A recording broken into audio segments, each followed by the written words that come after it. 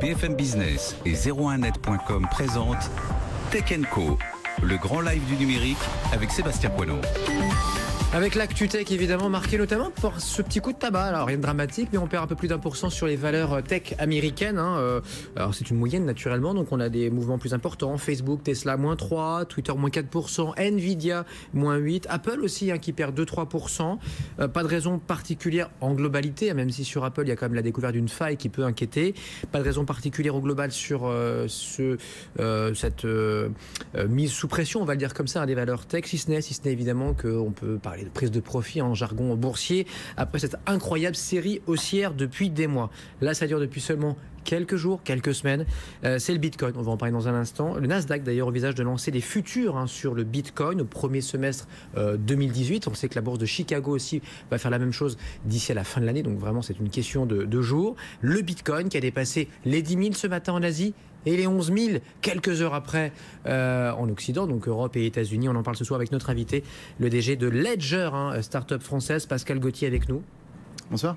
C'est une, euh, une folie ou pas là ce qui se passe euh, Une bulle, disent certains.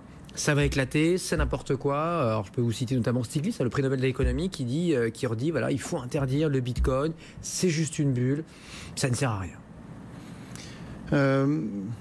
C'est un nouveau monde qui est en train de se créer, donc c'est toujours euh, très difficile de, prédire ce qui va se passer et d'avoir une, boule de cristal. Euh, et donc tout le monde peut dire ce qu'il veut, et les gens qui prédisent la bulle, et les gens qui prédisent euh, un avenir grandiose. Vous, ça fait des, des années que vous êtes là-dessus, évidemment, c'est votre cœur de métier, cœur de business. On peut notamment stocker ces bitcoins grâce à Ledger. Euh, bah, sur euh, deux petits devices, hein, euh, une, on va dire une clé USB et un, objet un peu plus un peu plus important. Ça ressemble à une clé USB, ça ressemble à ça, oui, effectivement. Voilà, ça coûte quoi, 60 Ça coûte 70 euros. 70 euros. Toute taxe comprise. Je mets mes bitcoins là-dessus et je suis sûr que personne va me les piquer. Voilà, exactement. Donc en fait, nous, quand on regarde de notre point de vue et en vendant nos petites notre petite clé, ce qu'on on se rend compte de plusieurs choses. On se rend compte que un bitcoin et les cryptocurrencies en règle générale, c'est un phénomène global. Donc on a envoyé des clés dans plus de 165 pays dans le monde. Euh, et que c'est un phénomène euh, qui touche toutes les couches de la société. Euh, ça, tout le monde achète des bitcoins, tout le monde commence à utiliser des bitcoins et des cryptos. C'est pas que les riches, c'est tout le monde en fait. et les volumes. Il n'y a pas que le bitcoin, mais c'est la plus connue, donc c'est sur. Voilà, on parle toujours de bitcoin, c'est la plus connue, mais en fait, on parle de cryptocurrency au sens large et de crypto-monnaie au sens large. Voilà. et les, les, usages commencent vraiment à se développer. Donc bulle pas bulle, nous ce qu'on voit en tout cas, c'est que ça touche énormément de gens dans beaucoup de pays et les usages fondamentaux, c'est-à-dire les transactions, le fait d'en de, acheter. En bitcoin, euh, sérieusement, Pascal. Qui achète euh, sa baguette de pain, euh, son litre d'essence ou une cave ou un parking avec un bitcoin? Personne. Mais en fait, quand on dit les transactions, c'est les transactions au sens large. Donc ça peut être acheter une baguette de pain, mais ça peut être je vous dois de l'argent et je, vous le rembourse d'une certaine manière, mais ça peut être aussi.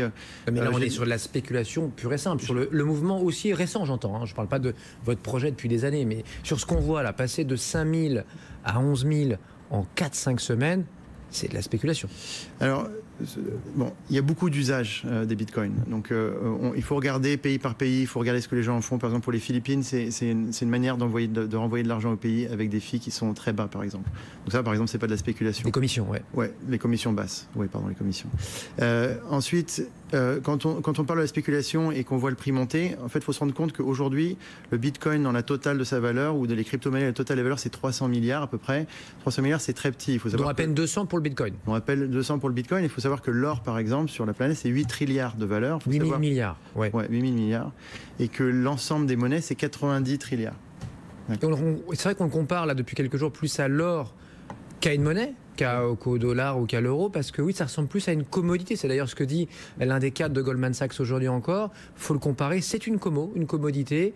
Euh, oui, ça ne sert à rien, mais en cas de coup dur, ou s'il y a une confiance en tout cas, ou une défiance demain, voilà, si certains ont confiance, si des millions de gens ont confiance dans le Bitcoin, bah ça vaut ce que ça vaut, ça vaut le prix qu'on veut lui donner. Quoi. Exactement. Bah, donc si on compare ça à une compare ça à une commodité on peut comparer ça à l'or. Donc 300 milliards contre 8 trilliards de valeur, on voit qu'il y a encore beaucoup de marge de progression.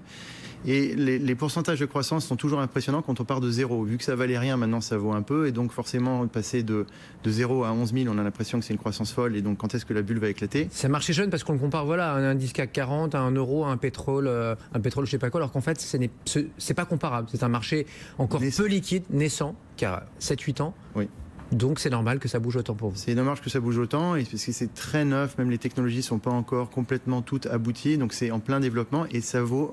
Et quand on regarde les grandes masses et quand on compare à des grandes choses, en fait, ça vaut pas encore très cher.